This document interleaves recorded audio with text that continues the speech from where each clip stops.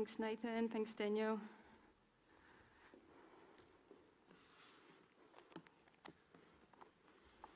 So, I have a question for you. Has connecting with God become something that you tick off your to do list? Now, I love to do lists. Like, I love to do lists. See, I write to do lists. I have a, um, I have a to do list book. Um, I also write to do lists on sticky notes. I write to do lists on my phone. I write to do lists on scrap pieces of paper. Like, I love to know what tasks need to be completed and I take great pleasure in ticking off things as being fulfilled, as being completed.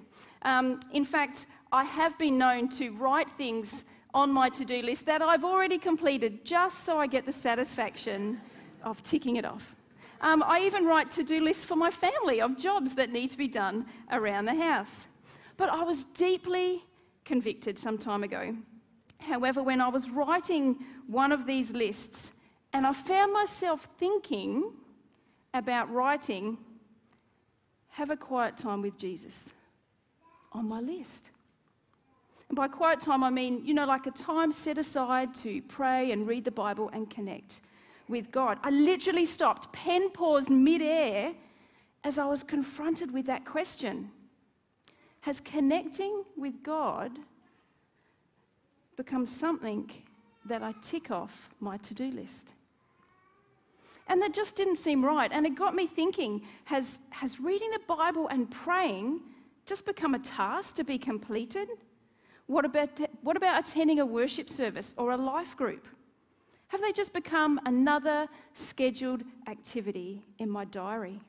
I mean, can you imagine if I'd written, hang out with Adam on my to do list? Like, he would rightly um, feel offended by that. See, surely opportunities to connect with God should not be viewed as tasks to be completed, but as conduits to grow more intimate in my relationship with God. How about you? We read these words of Jesus in John chapter 15. Here he's recorded as saying, I am the true vine, and my Father is the gardener. He cuts off every branch in me that bears no fruit, or every branch that does bear fruit, he prunes so that it will be even more fruitful. You are already clean because of the word I have spoken to you. Remain in me as I also remain in you. No branch can bear fruit by itself, it must remain in the vine. Neither can you bear fruit unless you remain in me. I am the vine, you are the branches. If you remain in me and I in you, you will bear much fruit. Apart from me, you can do nothing. If you do not remain in me, you are like a branch that is thrown away and withers. Such branches are picked up, thrown into the fire, and burned. But if you remain in me and my words remain in you, ask whatever you wish, and it will be done for you. This is to my Father's glory that you bear much fruit showing yourselves to be my disciples. Here we have this picture of God the Father as a gardener, a vine dresser, and it's the Father's work to take care of the vineyard. Jesus is pictured as the true vine, and the believers are depicted as the branches. And there's two types of branches that are described fruitless ones and fruitful ones. And as long as the branch remains connected to the source of sustenance and life, it's able to bear fruit. And the Father removes the branches that don't bear fruit, and He prunes those that do, so that they will be even more fruitful. Jesus is our source of sustenance and life. And it would be absurd for us to think that a grapevine would continue to grow and bear fruit after it's been severed from the vine. Yet, how often do we find ourselves drifting away from our very source of life and meaning and purpose, and then find ourselves feeling dry and brittle and wonder why?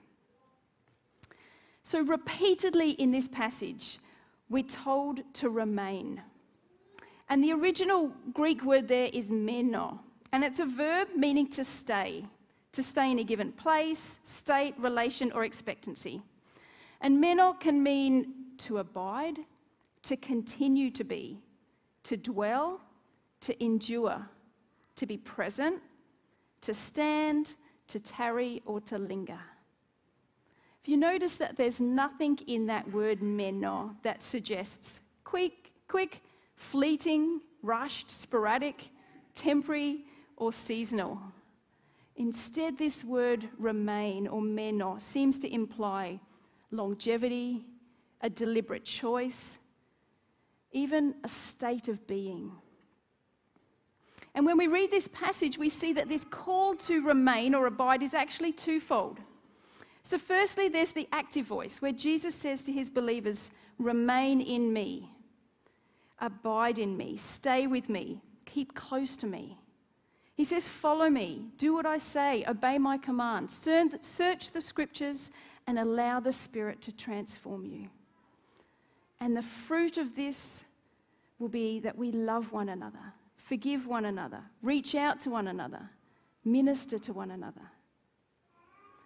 But did you notice also there was a second part, the passive voice, where Jesus says, And let me remain in you. He says, If you remain in me and I remain in you.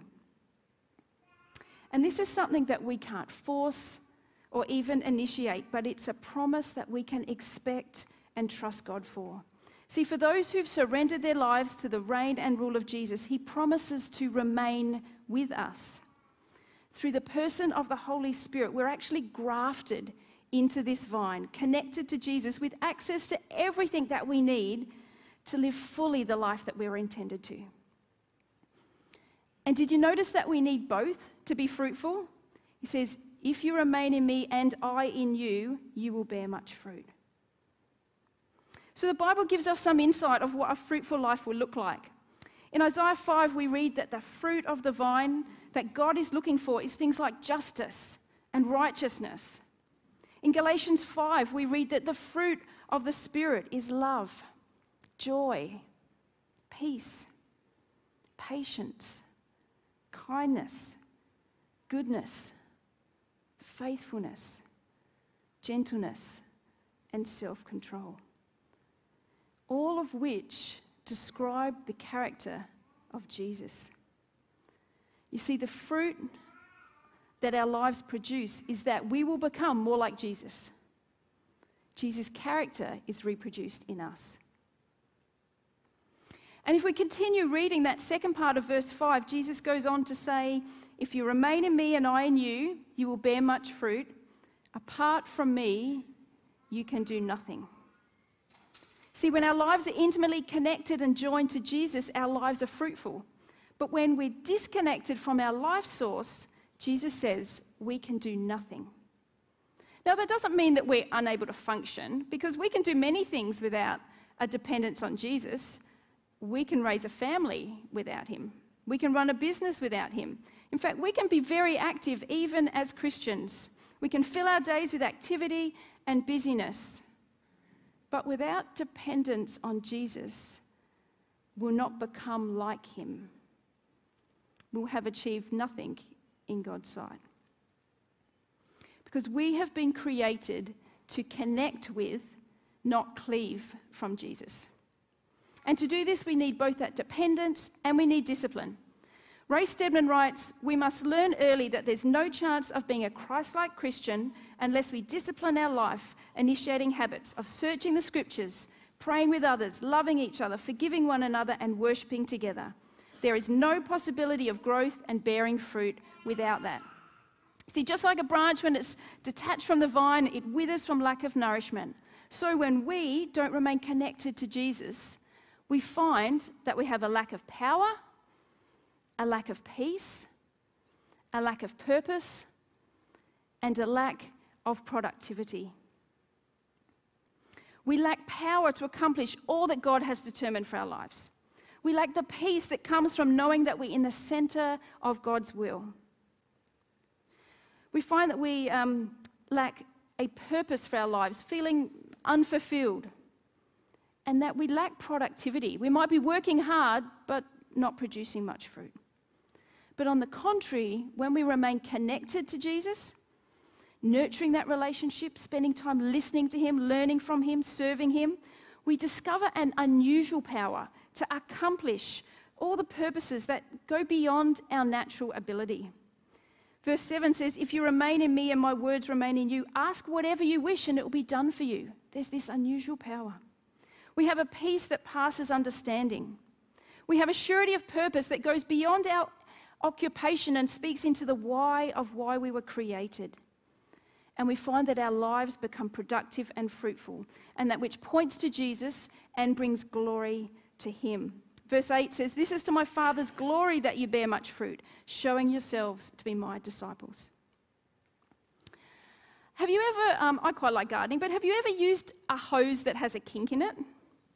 Like, the water pressure is not what it can be. It's so frustrating because, like, um, you're not getting the water pressure and it takes so long to accomplish anything because the water's just trickling out. And I wonder sometimes whether our, our conduit to our connection with God can sometimes become a bit kinked. You know, the connection is not quite what it should be, and we find accomplishing anything unproductive and frustrating. And having a kinked hose is, well, it's problematic, isn't it, when, we, when it's a watering hose?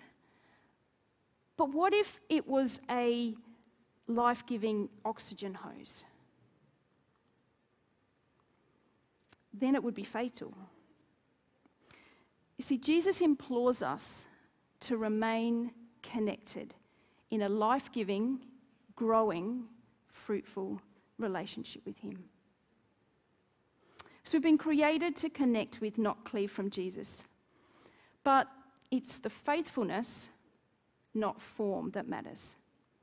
It's faithfulness, not form, that matters. Because you know what? Seasons in life change. But our need to remain faithfully connected to Jesus doesn't. And we know this is important, but outworking that reality of this can fall short because, well, life happens, doesn't it? There's daily challenges, like there's appointments and there's deadlines and there's health issues. And there's also seasonal changes. And we all go through seasons in life, which brings with it its own unique challenges. So our time with God won't look the same in every season, but it should exist in every season. Because there's never a day when we don't need to breathe, and there's never a day when we don't need to hear from Jesus. So, faithfulness, not form, produces fruit. See, when it comes to connecting with God through daily Bible reading, well, I guess I'm a little bit of a creature of habit. So for years, I would wake up, I would fling open the curtains, and then I'd get back in bed and prop myself up and I would read the Bible. Yes, I am a morning person. But it turns out, when I got married, that my husband doesn't appreciate the sun streaming in our bedroom at the first start of every day. So I had to adjust how that looked. Then along came children. And they didn't seem to appreciate how important this time was for mummy. So I'd set my alarm for 6 a.m. and without fail they would wake at 6:01. Or if I woke at 5:30, so would they. It's like they had this inbuilt sensor that just seemed to activate as soon as I sat down with my Bible. So my routine had to change again. So, how do we keep connecting through all these different changing seasons in life? Well, instead of listening to me, I've asked a few people in different seasons of life if they could maybe just share a couple of ideas about how they connect with God in the season of life they happen to be in. So, to start with, I'm just going to ask Kellen and Kat if they would come and share first, and then I'll have a few others after that. So, Kellen is in year 12, which, you know, there's demanding study load. And Kat is, um, she is studying and she's also working part time. So, Kellen, you can come first to share with us about how you connect with God in this season of life. Hello, peeps. um, so, I find that as a teenager, I like to spend time at youth and we just chill and vibe afterwards. We listen to worship we got all these nice tingly sensations in our heart, and that's what makes us really connect with God at youth. Um, since I have a really bad habit of going on social media every single weekend, um, I tend to like watching Jesus memes. That helps me really connect with my other fellows who believe in the means of Jesus and how much praise and wonder that brings to me every morning.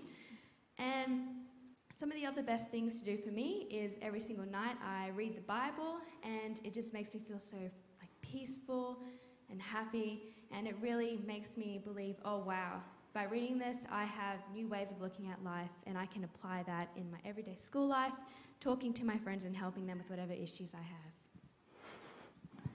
Thank you, Kellen. You can if you want.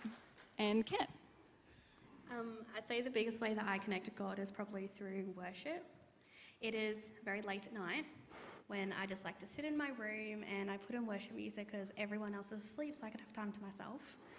And I just listen and chat, pretty much just try and see what God wants to say to me, or sometimes I don't hear anything, but I just still sit in His presence. And I also love connecting through my life group and church.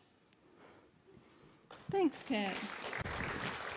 Kat's someone who um, I've seen who's prioritised. You know, she's at church, she's at life group, she's at prayer meeting. If there's something going on, Kat will be there. It's like, you know, a source of family and life for her. Okay, I'd also like to invite Brendan and Catherine and Murray if you could come up and share. So, again, we've got people in different stages. Brendan works in a demanding job, which often has him away from his family and away from his routine, and he's got a little one.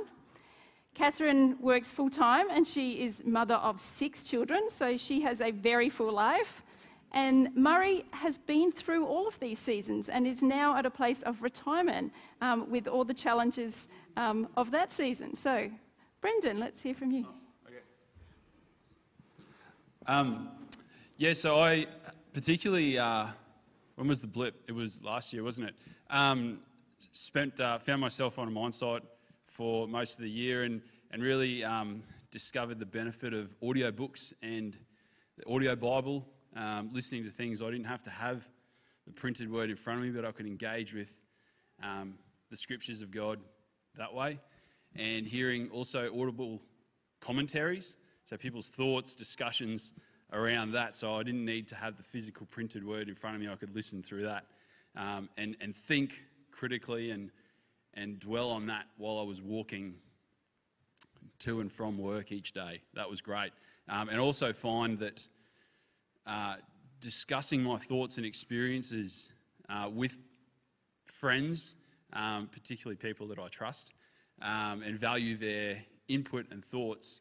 Um, we can hash out my thoughts and experiences and their thoughts and experiences together. And sometimes we agree, sometimes we don't agree, um, and that's okay. I can, I can still I definitely connect with God um, through engaging with others and, and hearing, um, yeah, technology in my ears as I, as I walk and, and travel. Yeah, it's great. Thanks. Thanks, Brendan. Catherine. So, when Claire came to me um, this week and asked if I would share about how I connect to God, I think my first response was, Well, I don't do it very well. Um, and she, and she said, Well, it's not about perfection, it's about purpose. Um, and so I, I, began thinking, and, and so I, I, said to God, I said, Well, how do I connect to you? And I could almost see him rolling his eyes at me and going, Like you are now. Um, and so I've realized that a lot of, well, probably all my connection is just uh, during the day.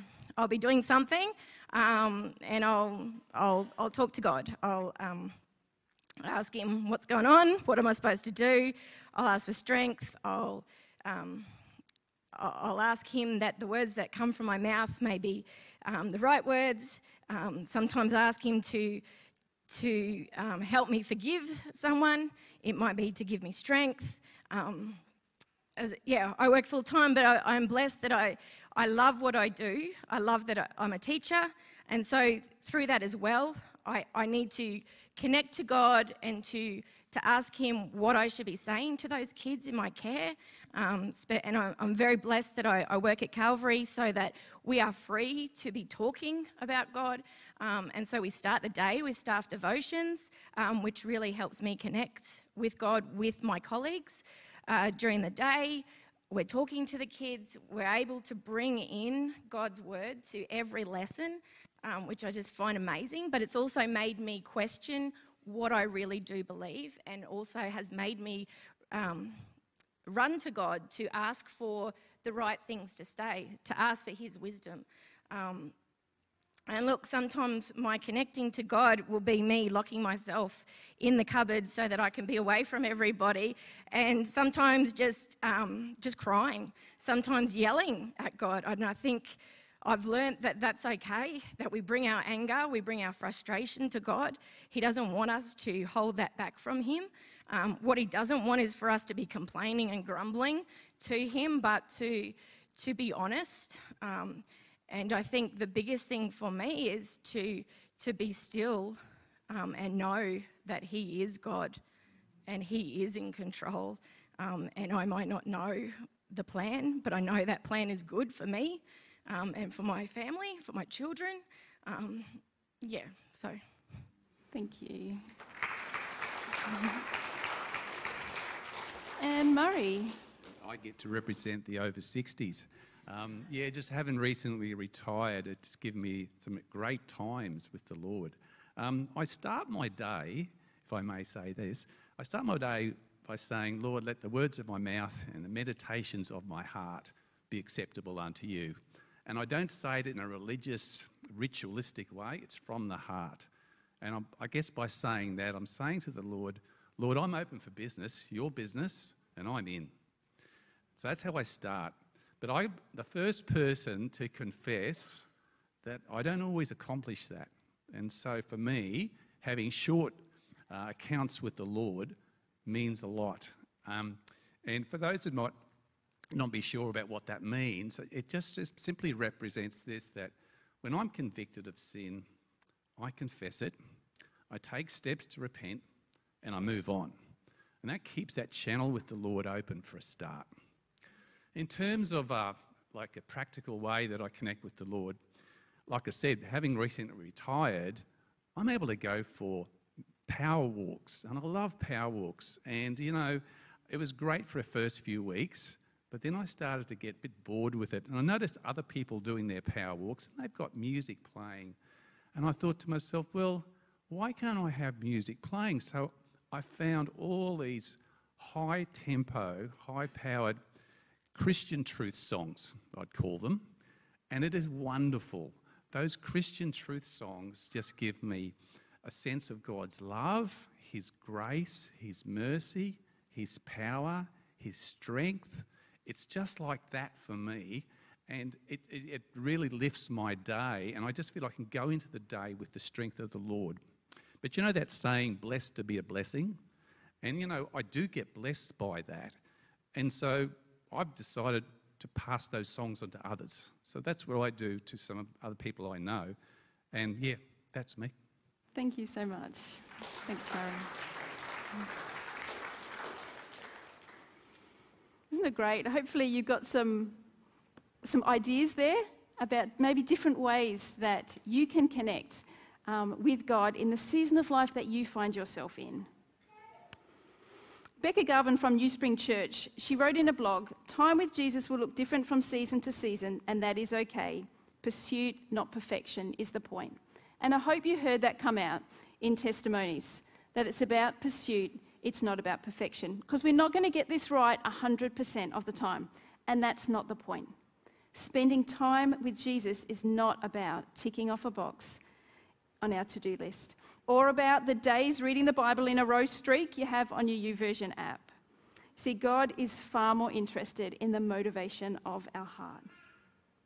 We read the Bible to learn about the God who loves us and pursues us. We pray because we want to talk to God about our circumstances and our emotions, and we want to receive the Holy Spirit's guidance.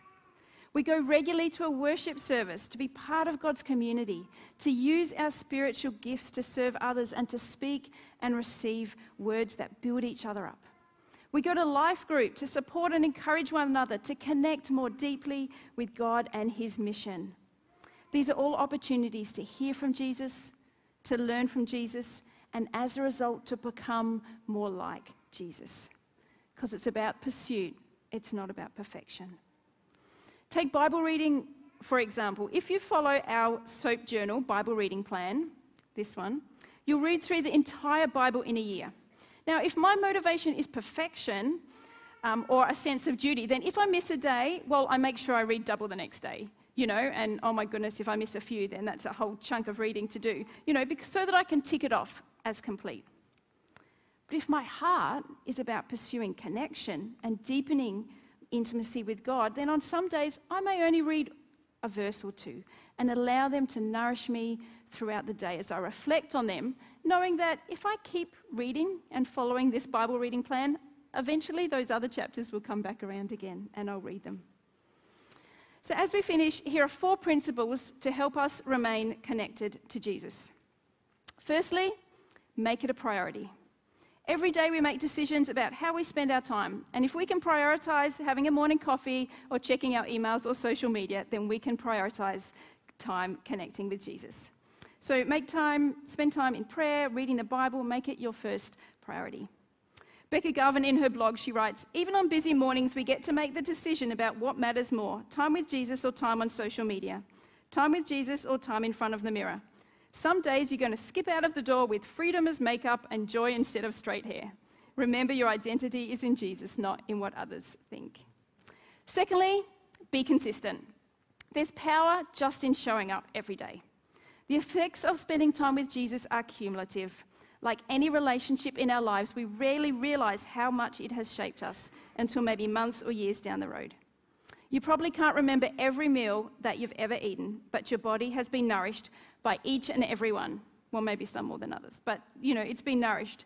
Likewise, you may not be able to recall every Bible verse you've ever read, but you'd be amazed at how many times a specific verse that you've read will enter your mind just at the time you need to hear it.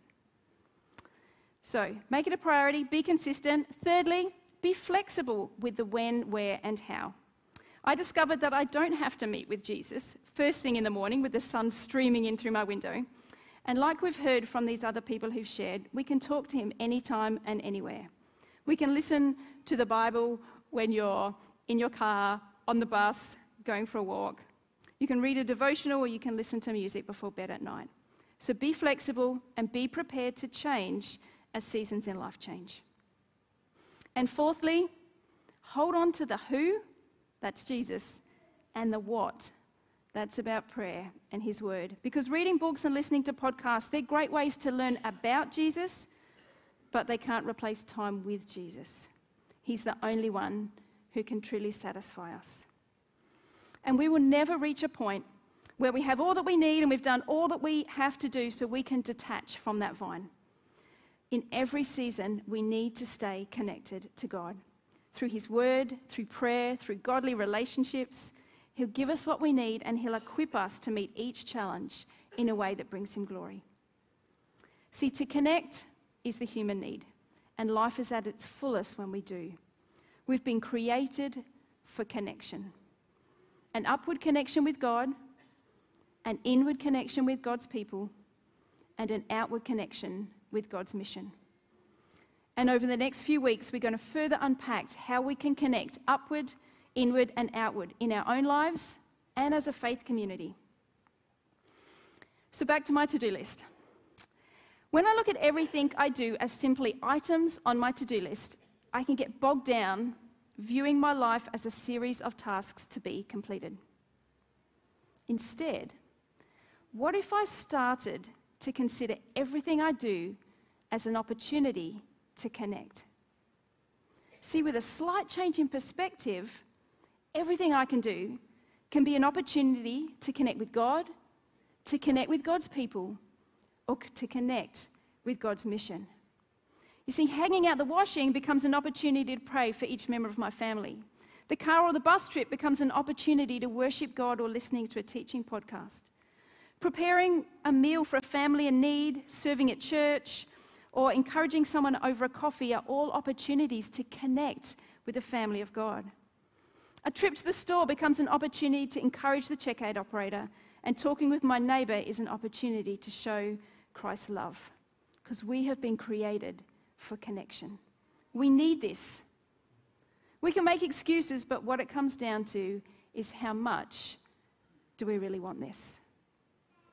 Will we prioritize connection with Jesus and guard against things that will cause us to cleave or be disconnected from Him?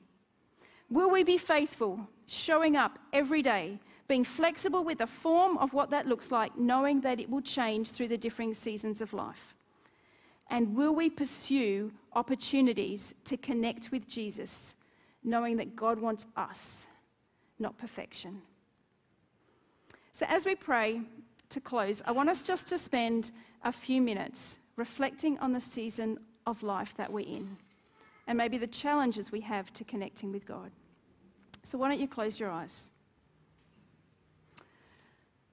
Perhaps you feel like your connection to God has become a little bit like that kinked hose. What can you put into place to unkink the hose and to strengthen that connection? What are you resolved today to make connecting with God a priority in your day? Perhaps for some of you, you need to grab one of those soap journals or download it. And you need to challenge yourself to read the Bible every day for a fortnight and just establish a habit of reading the Word of God. For some of you, you need to commit to attending a life group where, as we heard, together with others, you can go deeper in your connection with God. For some of you, that might mean coming to the church wide prayer meeting tomorrow, something you've always been meaning to do but keep putting off. What are you going to resolve to do today to unkink that hose and to strengthen that connection? Because it's all about intimacy with God. Heavenly Father, I thank you for your faithfulness. Lord, even when we aren't faithful, you are. Thank you for your desire to connect with us and that you do remain in us. Lord, I pray for each and every person here, Lord, that we may have a conviction in our heart, in our spirit, to remain in you. To remain in you. May we see it as the life giving conduit that it is. Because apart from you, we can do nothing. But you have created us for connection and you have created us to bear fruit fruit that will bring you glory, fruit that will bear witness of your love and your grace to a world that needs hope. So, Lord, I pray for each one of us this week and in the weeks ahead, Lord that we may deepen our connection and our intimacy with you. In your name we pray. Amen. Thanks.